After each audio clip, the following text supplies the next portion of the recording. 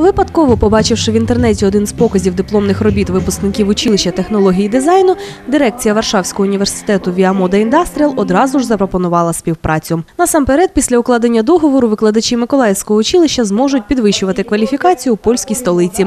Крім того, кращі випускники матимуть змогу продовжити навчання в закордонному університеті за однією з п'яти спеціальностей. Нам нужно сначала все узнать, на то мы и украинцы. Я 10 раз пощупаем, а потом скажем да или нет. Та у всякому випадку угоду про співпрацю підписано. Студенти училища вже бачать себе в аудиторіях Віамоди Індастріал. Хоча наразі все впирається в гроші, адже навчання у Польщі не дешеве. За три роки потрібно буде заплатити декілька тисяч євро. Де наші студенти візьмуть такі гроші, поки невідомо, але молодь оптимізму не втрачає. Это очень здорово, это на самом деле внушило нам надежду, наверное, выйти на более европейский уровень, более высокий уровень. И, конечно, у нас есть какие-то уже какая-то база, какие-то знания, и это здорово, что есть люди, которые хотят помочь нам и продвинуться вверх и идти дальше.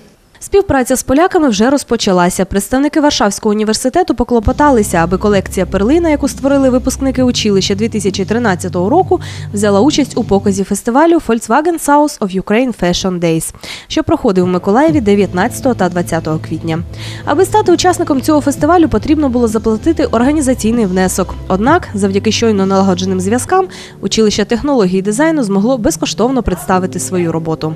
Нам вдвойне приятнее то, что на фоне брендовых э, фирм, на фоне известных дизайнеров, именно училище технологии дизайна, именно учащиеся нашего учебного заведения были удостоены такой чести быть приглашены на этот фестиваль и заявить о себе на весь юг Украины. Юлія Єрмошова, Даніл Сліж для програми Об'єктив.